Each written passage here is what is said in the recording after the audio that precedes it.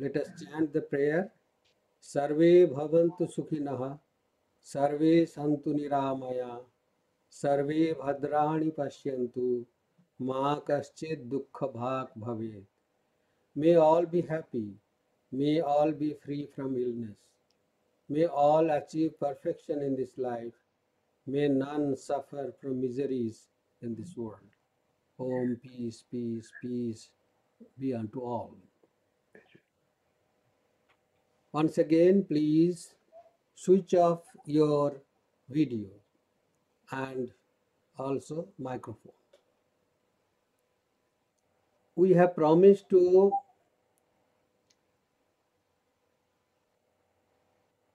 speak on the Yoga Sutras. This is a very famous book, not because it is studied by so many people, but because the yoga that is called Hatha Yoga is being practiced by many people throughout the world, everywhere.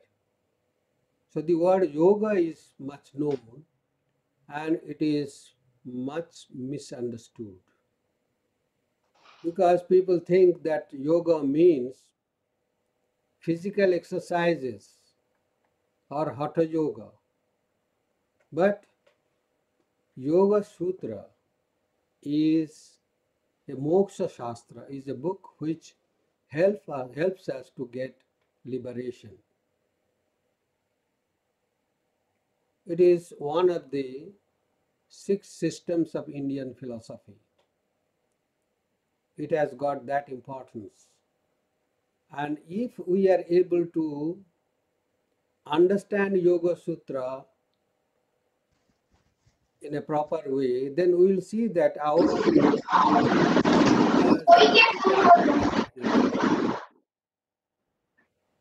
will help us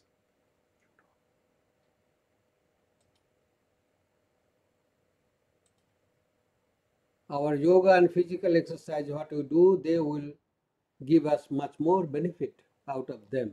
They are necessary they are not an end.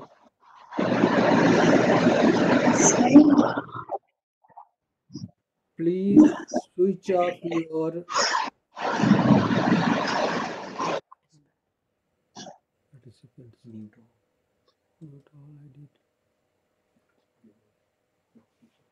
Yoga exercises are good.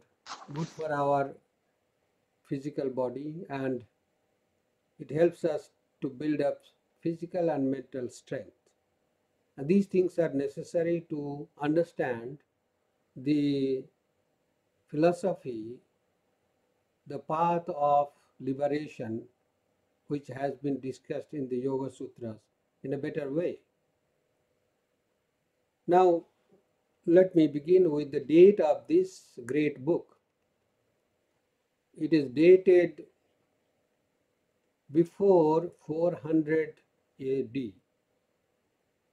And that means that it has an age of about 1600 years before us. So, this ancient yoga was almost lost until the 18th century when Swami Vivekananda explained it in the English language. That was, yes, that was in 19th century. Swami Vivekananda calls it the science of religion. It is in a sense a foundation the foundation of Hindu psychology. And almost all the other schools of philosophy in India, in some way or other, borrow some ingredients from the Yoga Sutras in order to formulate their methods or practices to realize a spiritual goal many, many of these schools have adopted some techniques from these Yoga Sutras. So it is actually a very important book. And who is the writer of this book? The writer's name is Patanjali, Maharshi Patanjali. He is that Patanjali of the fame of writing the great commentary on the grammar, Sanskrit grammar written by Panini. And they say that Maharshi Patanjali is the incarnation of Sheshanaga or Anantanaga. Shesha means, I will explain that one. This, this is a divine snake which has got many, many hoods. And through different mouths, it creates, it uh, brings about different creations. So, this is the foundation of all varieties of creations. And this Panini is, uh, this Patanjali is the writer of this Yoga Sutras. And he wrote a great commentary on the grammar of Panini, who lived about 500 years before Christ. This Panini wrote some formulas in his grammar. Uh, they are almost like algebraic equations. So many years ago, that precise mathematical knowledge is unbelievable. The basic algebraic grammatical formulas are only 14. Only 14 formulas control the whole grammar system, Sanskrit grammar system. That is why Sanskrit is the most computer compatible language. Let me take a diversion or deviation just for example of a scientific discipline. In Sanskrit grammar, the vowels are organized in the beginning. All the vowels come in the beginning. And all the consonants come thereafter. The first vowel is A or A. In Sanskrit, it's called A, which is the very first letter of the Sanskrit alphabet.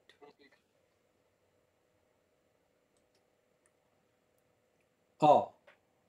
And that is the very first letter of the Sanskrit alphabet, and it actually, uh, all the consonants end with this A, like ka, kha, ga, gha.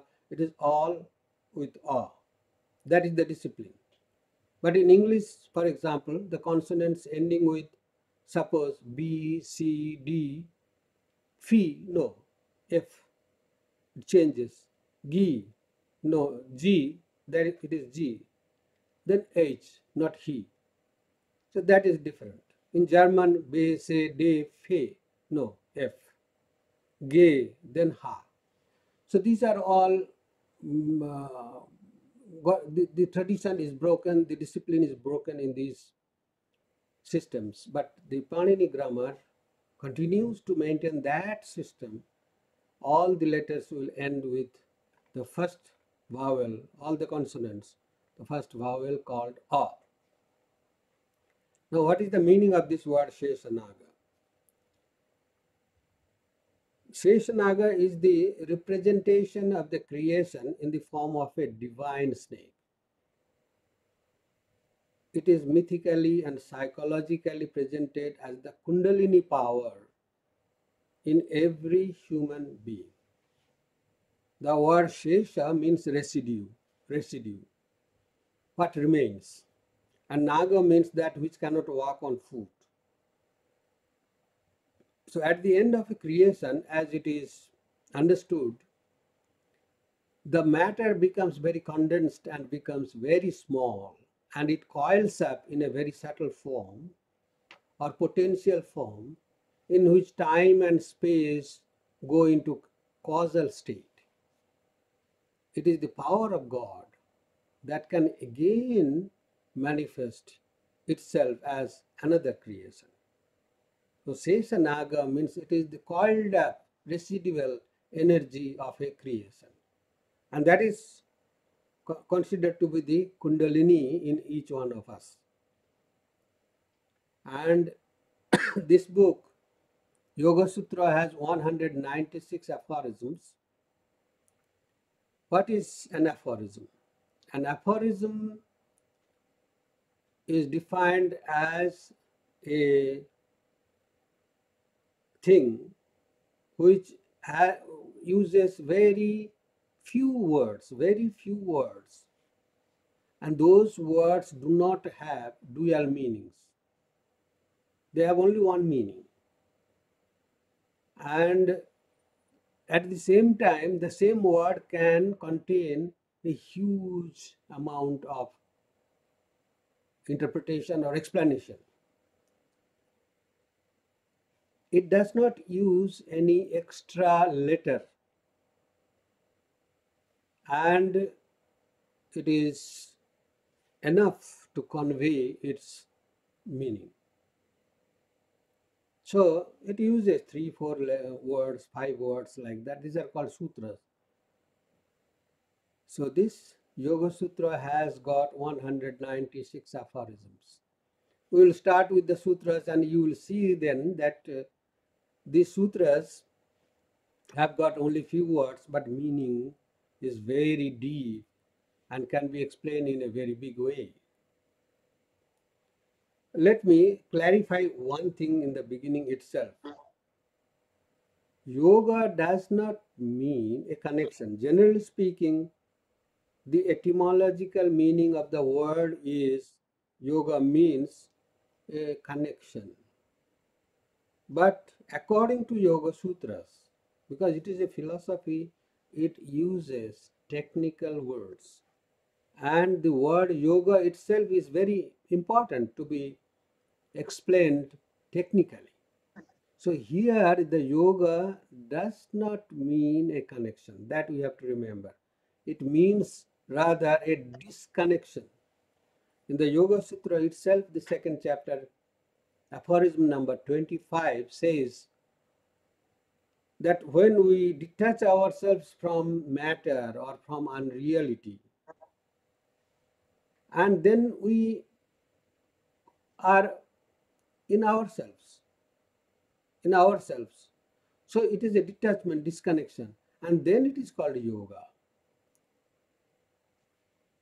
Even Sri Krishna in the Gita also explains it that way that dukkha sanyoga viyoga, when we are connected with this world which is nothing but dukkha, suffering, that's what Buddha has said. Dukkham, dukkham, dukkham, sarvameva dukkham.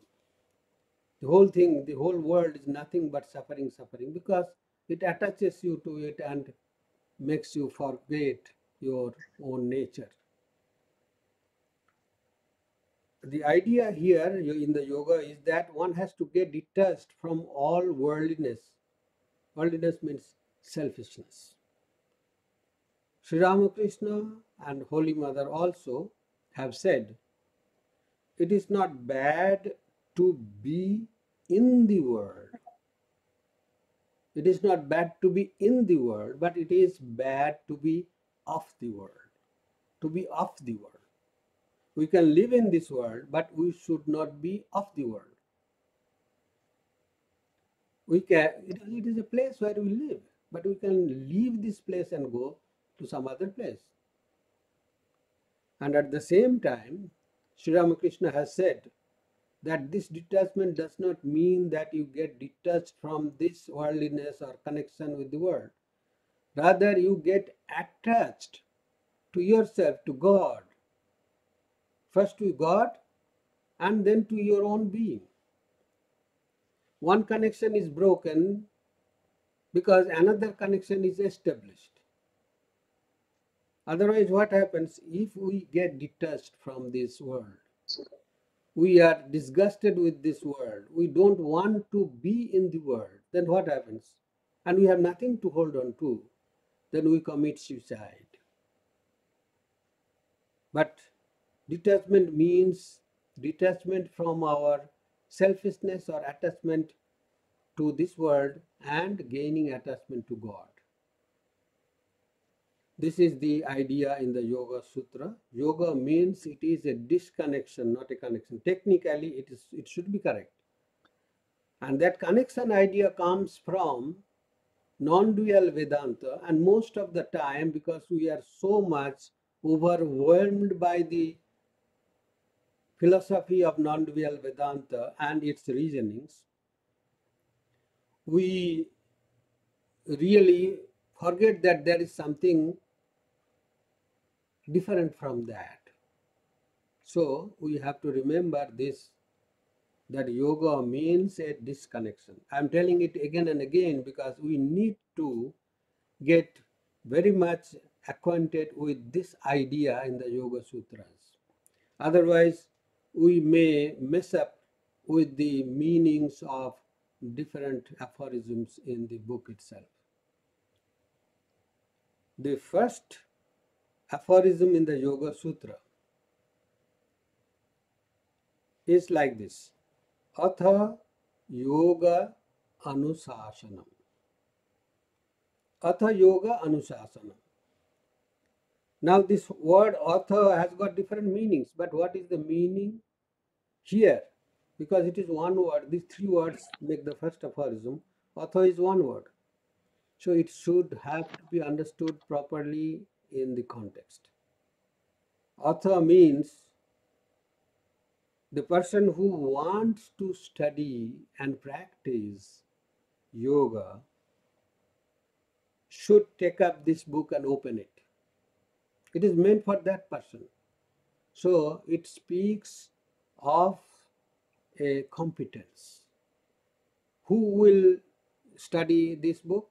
The person who wants to study, who is capable of studying this, who is entitled to study. So they say adhikarartham. It speaks of a competence. And then the commentator, the famous commentator of Yoga Sutras is known as Vyasa he says that this is the Yoga Sutra and its teachings are universal. Universal. It does not say that it is meant for men, not for women. It does not say that. It does not differentiate between black and white, mm-hmm. man or woman, tall or small, people belonging to this country or that country, this religion or that religion. Not like that. Anyone can practice this yoga, anyone can study this yoga. There is no question of nationality, gender, religion, etc. You take, for instance, mm. the yoga exercises yoga exercises, do they speak of any such distinction?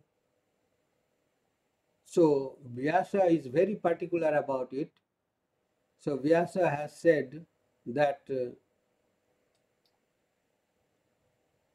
anyone, irrespective of the color, language, gender, or anything, can study this book. It is universal. Sarvabhaumatvam, he says. Sarvabhaumatvam means universality. And what is yoga? Atha yoga anusasanam. These are the three words. What is yoga? Yoga is samadhi. Yoga means samadhi. Samadhi or spiritual realization is the ultimate goal of this scripture. And the last word is Anushasanam. Anushasanam means instruction, and it is not simply just instruction, it means a kind of uh, practical teaching, practical training, not just teaching with the blackboard, but teaching, just like the yoga teachers, they do not not only explain a particular posture, but they show how to do it. They not only say, but they show you how to do this. And there are different stages of practicing one posture. You cannot just begin with the final posture. You have to practice it stage by stage and then achieve that posture.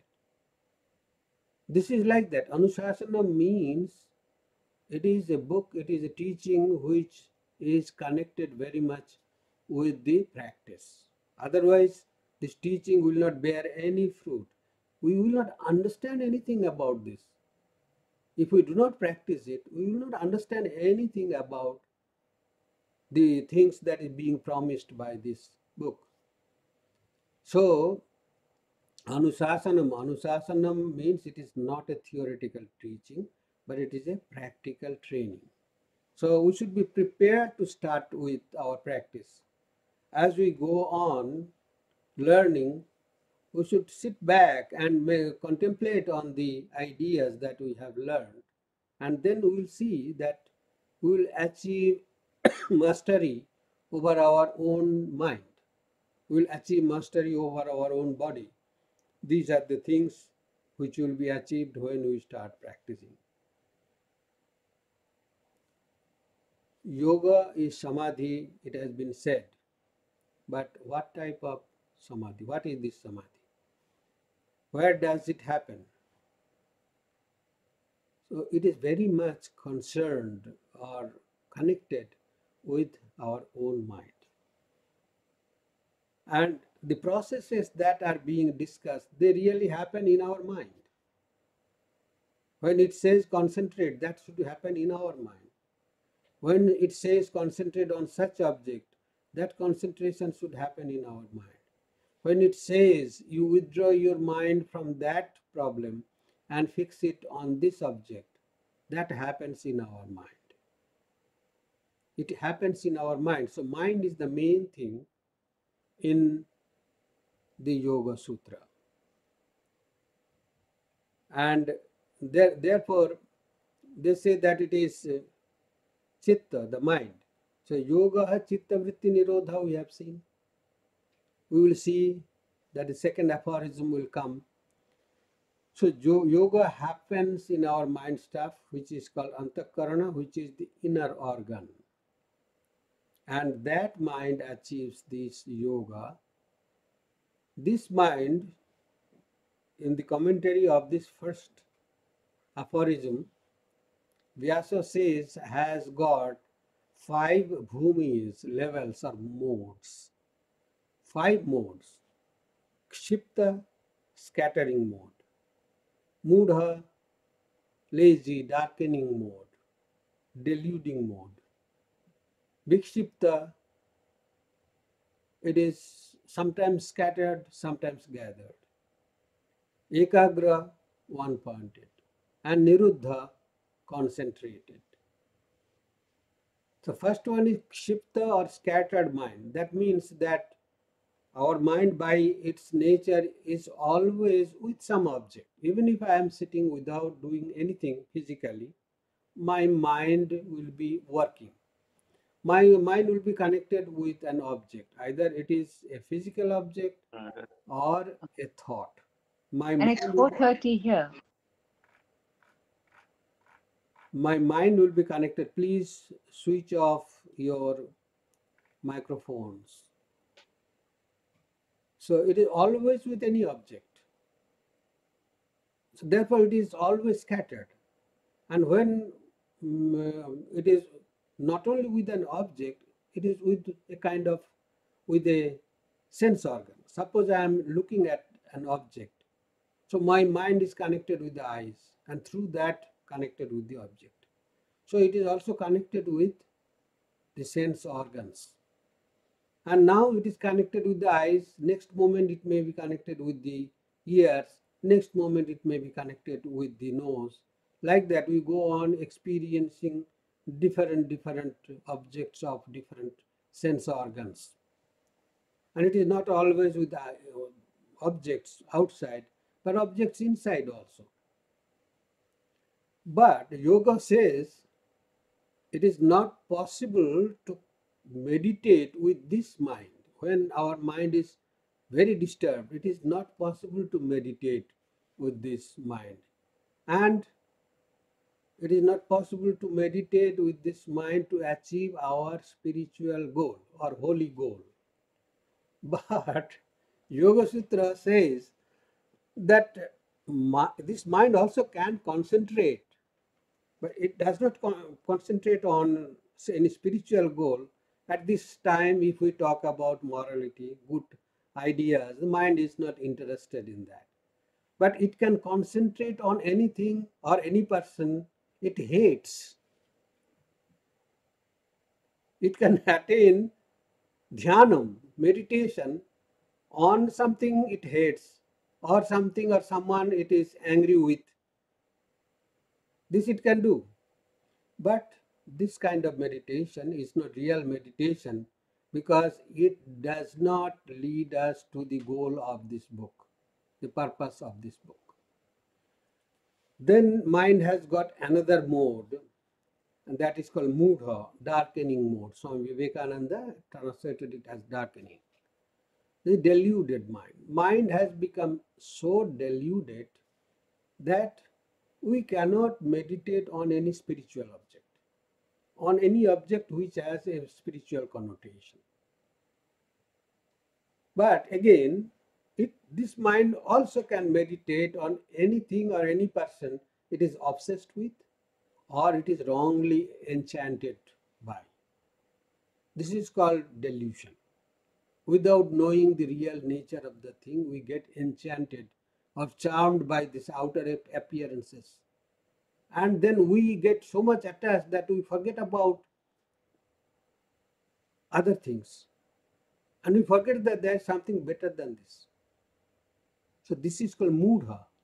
We get deluded and the mind becomes deluded and it gets enchanted or attached, concentrated on any object.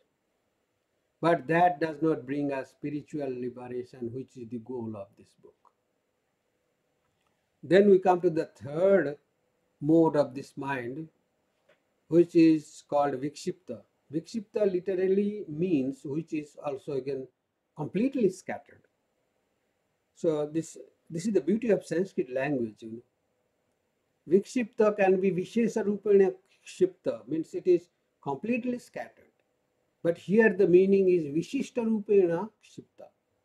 It is sometimes scattered and sometimes gathered. Vishishta Rupena Kshipta. Kshipta itself is disturbed. And now Vikshipta is not very much disturbed. It is sometimes scattered, sometimes gathered. And this is the mode of the mind when meditation is possible. We can try to concentrate. When the mind is gathered, we can try to concentrate.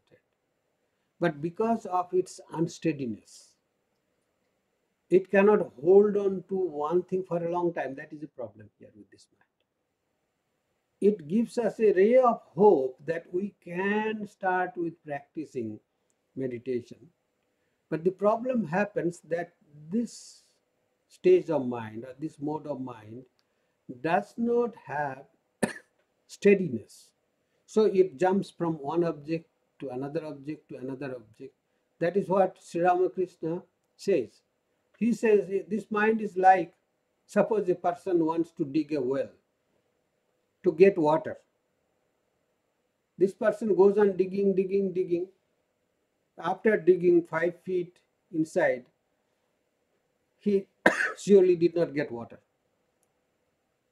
Then he left that place, went to another place, started digging there. Again, there after digging five feet, then it left that place, went to some other place. So what happened finally? That uh, he did not get water.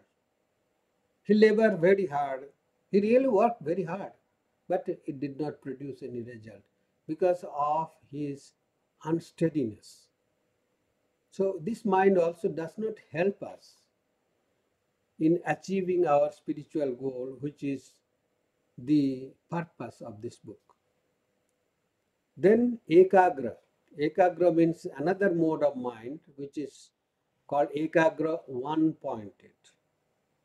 One pointed towards one object. This is called ekagra. Slowly the mind becomes concentrated and concentrated for a longer period of time. And this stage is called Savikalpa Samadhi. Savikalpa Samadhi has got different stages. Seven, seven stages it has. And to achieve the final Savikalpa Samadhi, we have to go through these seven, seven stages. We'll come to that later on. Actually speaking, the word dhyanam or meditation means broken concentration. It is not that when I have started meditation, started with the meditation, that my mind will be concentrated and there will be no distraction, there will be no break in that. No. Dhyana means vichidya, vichidya, means it gets broken, broken. But we continue to start again, continue after the break, we continue with the same object. Then it gets the practice to remain with the same object for a longer period of time. So the the frequency comes down and wavelength increases. It is like that. Frequency of breakage that will come down. In a minute, I used to have one or two breaks. Now, in five minutes, one break. So the length increases. This is called ekagra chitta, the state of the mind which is very conducive for meditation. And in this stage, one has to work very sincerely because it is really helping. So one has to work very sincerely. And that helps us to achieve our samadhi through these savikalpa samadhis. And third one is niruddha, that is called nirodha samadhi. That is completely concentrated. Completely concentrated, there will be no break in that. And that will be called asamprajnata samadhi. That samadhi will be called a samadhi which does not have any break. We will discuss the details afterwards when that particular aphorism comes. So the second aphorism now we take up is Yoga Chittavrittihi Nirodha. Yoga is one word, Chittavritti another word, Nirodha another word. These are the three words which makes this aphorism.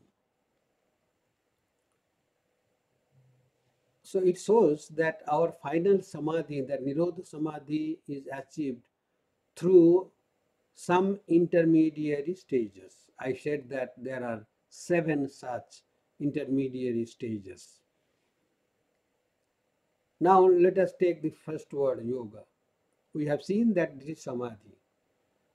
So it is now defining what yoga is. The first aphorism or the beginning of the book said Atha Yoga Anushasanam. So now the person who is entitled to read this book called Yoga, for him the instructions start. Now second aphorism is explaining what is yoga. Atha yoga, now second one is yoga chitta vritti nirodha.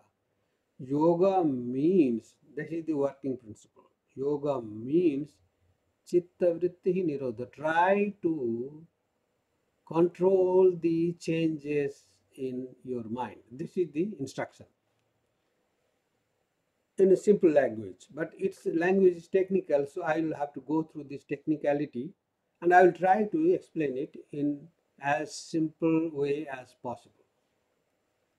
So chitta vritti, chitta vritti, now first yoga, chitta vritti nirodha. Vyasa says it does not say Sarva Chitta Vritti Nirodha. Sarva word is not there. Not complete cessation or stoppage of modifications of the mind. Yoga means all our efforts, all our endeavors to reach the highest samadhi. Even the first step is also regarded to be yoga. I have to walk 100 steps, but I'm on the way. The first step, even though it is the lowest one, the beginning, but it is of primary importance. Without this, I cannot achieve 100 steps. I have to take the first step. So I am trying to be a yogi, I am trying to concentrate, I am trying to achieve meditation. So I have started it. It does not mean that I am a 100% yogi. My meditation will become 100% successful. No. It may be in the beginning 2%. but I'll try to do it, this 2% continuously, uniformly. So yoga means my concentration on God is 2% in the morning, minus 10% in the afternoon. It should not happen like that. Uniformly 2%, that is the practice. We need to practice to maintain that uniformity. So Sarva word is not used here because even the minimum of effort that we take towards this, that is lauded, praised. Shri Krishna says in the Gita, Swalpam apyasya yogasya. Swalpam, a little bit of this. Trayate mahato bhayat. Saves you from a great, great fear or danger. Because you have taken a step towards the right direction. So therefore, Chitta Vritti Nirodha does not mean all Chitta Vritti Nirodha. It begins from the beginning. And what is this Chitta? As I have said, the word Chitta means actually, in broader sense, mind stuff or mind, the internal organ. Now, what is Vritti in this? This, this word will be explained afterwards, but just to give an idea, vritti means some modifications happening. Suppose I was looking at something which is agreeable, so my mind had some kind of feeling. They say this mind is made of three gunas. Three gunas means three forces. Guna means force. Three forces, strong forces, weak forces, and magnetism like that. This is not, these are not the forces. Here they are talking about forces like Sattva Guna, Rajo. These are the three constituents of the mind. And these three forces balance themselves in the mind. Sattva Guna is the force of tranquility. Rajo Guna is the force of activity. Tamo Guna is the force of inertia. These are the three forces which make the mind. These are the constituents of the mind. So the mind is now tending to change itself in different ways. Changing itself in different ways. Some agreeable thing I see, the sattva guna is is helping me. The sattva guna is Um, more manifested. And then what happens? My mind takes a wonder has a wonderful feeling, a good feeling, because it is sattva and I am looking at a thing which is agreeable, which I like, which is peaceful. Then the mind takes a form, and this form is simple, quiet, undisturbed. Let me give you an example. Suppose there are three circles drawn on the blackboard. One circle is just a circle. There is nothing inside it. just a circle. And if you look at that circle, then what happens? Calm, quiet, no disturbance in it. But if you look at a circle which has got many dots inside that, and you are asked to count those dots, then it is a big problem. Problem means mind becomes so disturbed. Your mind loses that calmness. You are not happy with this kind of situation. That is Rajoguna. Activity starts. And then Tamoguna. Tamoguna is uh, there, there is a circle with many hatched lines inside this and boring lines. Boring, boring. The mind becomes dull. So these are the three gunas which make our mind. These are the three constituents of our mind sattva, raja, and tamaguna. And these gunas, they they are creating experiences for us, creating some impressions in the mind. That means they are bringing about some changes in the mind. And these changes are consecutive, similar type of changes or different types of changes. so these changes are called the vrittis. They are in the form of a circle. Vritta means a circle. Vritti means small circle. Chitta vritti, the changes in the mind, modifications in the mind. And these vrittis, they go on balancing, rebalancing with each other. There is always a, an activity going on in this.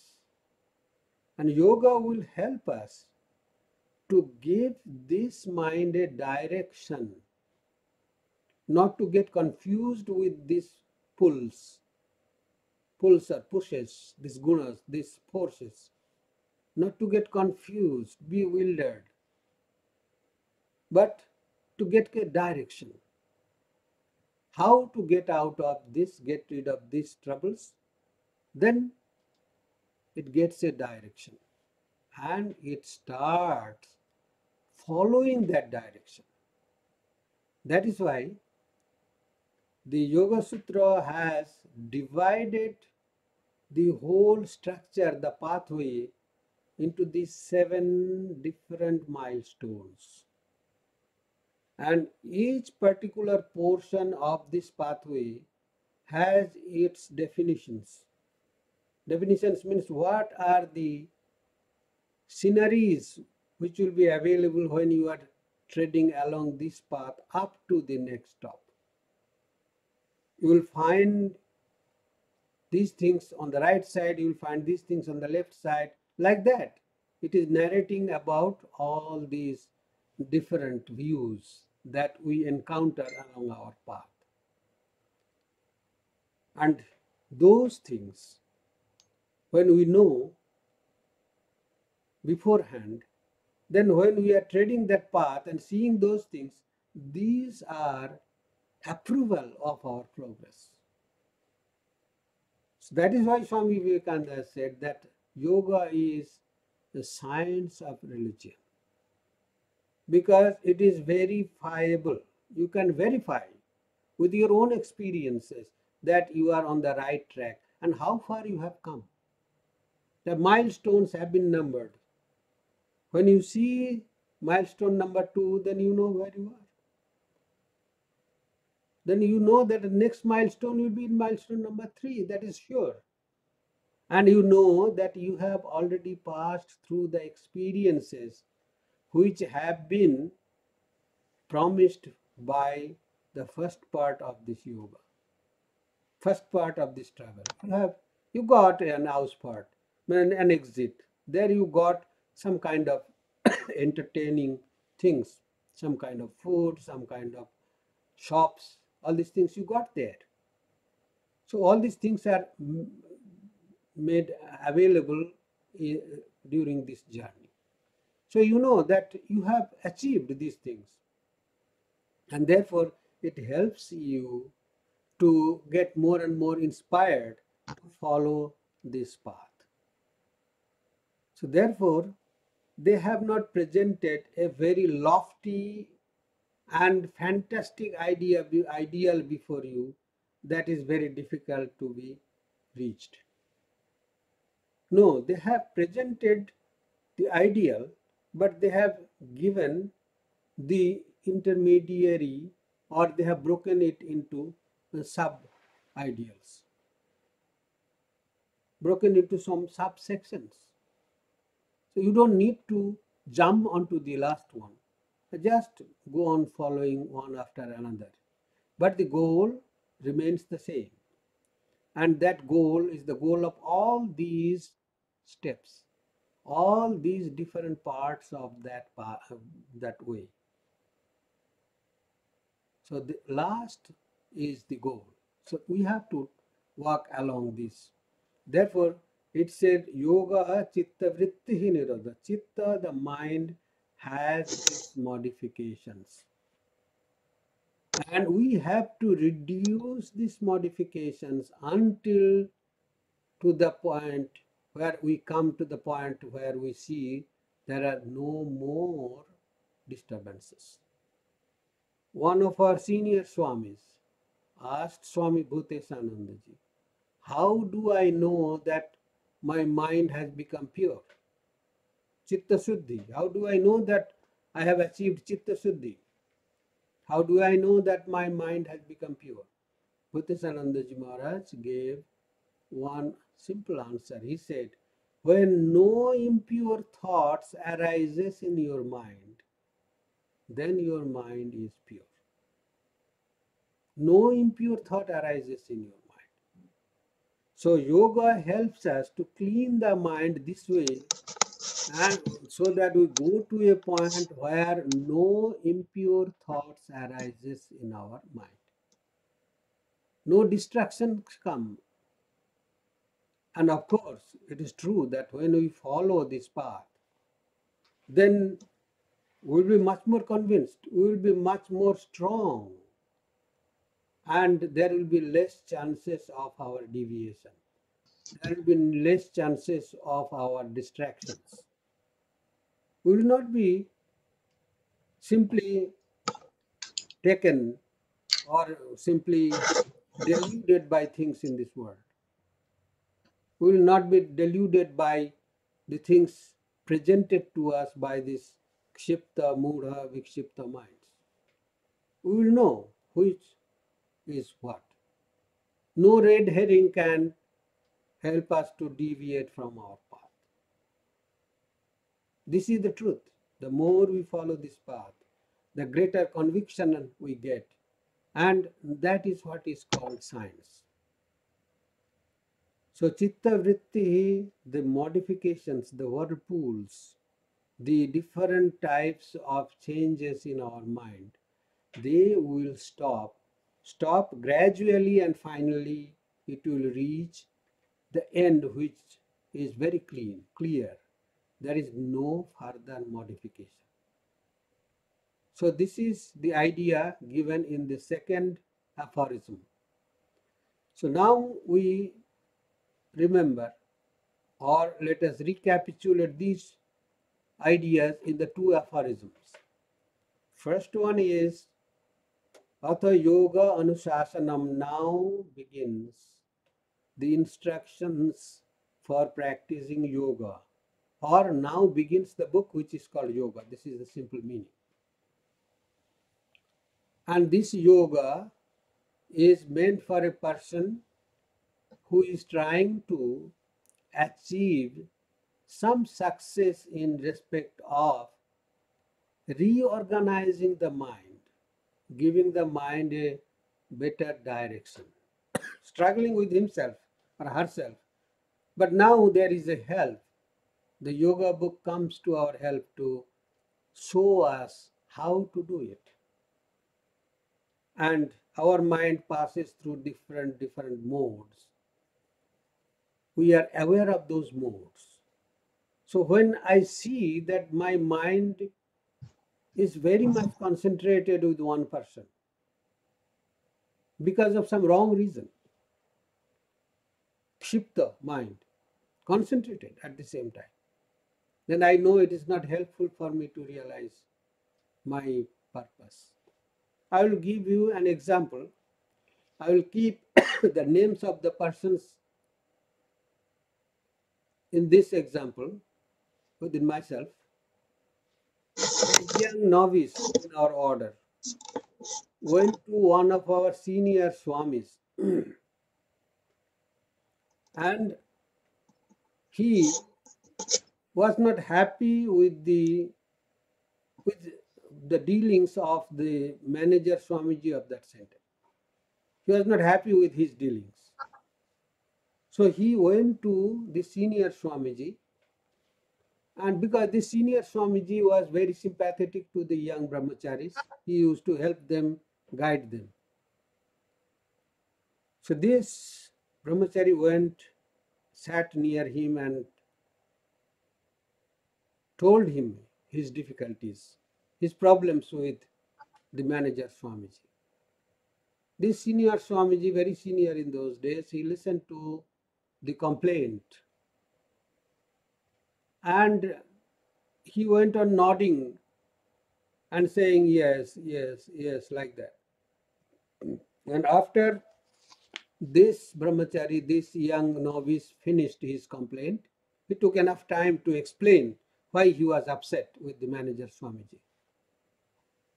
Then this senior Swamiji, who was almost all the while closing the eyes and nodding the head and saying, Ah, see, I see. The Swamiji opened the eyes, looked directly into the eyes of the into the eyes of this um, novice and said, I think you are meditating more on manager than on Sri Ramakrishna. I think you are meditating more on manager than on Sri Ramakrishna. And that was the truth. That was the truth. So, see the condition of the mind. He has come, he has become a novice to follow a spiritual path, but still he is suffering from this trouble. This is natural because he has begun the life. Therefore, the mind has to learn slowly together with him the ways. But the Swami was uncompromising, the senior Swamiji. But he pointed out that this brahmachari, this young novice, he was much mm, concentrated on the on this manager Swamiji because of his hatred, or because of his disagreement. See that that is the truth. When afterwards this novice confided to another person saying that yes, when I started meditating every day, I would similarly start thinking of these problems. So from that day, he learned the lesson and he was able to control anger or hatred. So these are truths about our own mind. The Yoga Sutra gives us a guideline, gives us some well chalked out plan how to reorganize our mind. it is not actually controlling the mind. The mind control, we use this word always. It is not controlling the mind, it is reorganizing the mind. It has got every good stuff in it and it has got all energy. This Rajoguna, tremendous energy, active energy. But we have to give use that energy for a good purpose. Same energy. Sri Ramakrishna has said, give it a U-turn. Just change the direction. Then the same energy can be used for good purpose. You don't have to borrow energy from outside. It is there, but you are misusing it, dissipating that energy for useless things. That is the teaching in the Yoga Sutra.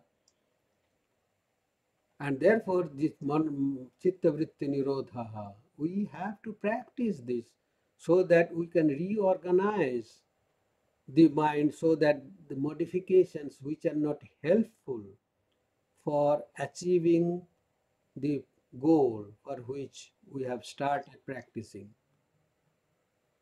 we have to stop those modifications. Not, and afterwards we will learn how to do that, not directly confronting them, but diverting our attention to something else which is of much value to our goal. This is the idea which we get from these two aphorisms. We will elaborate on different aspects of it afterwards while we go on reading other aphorisms, following aphorisms in this book.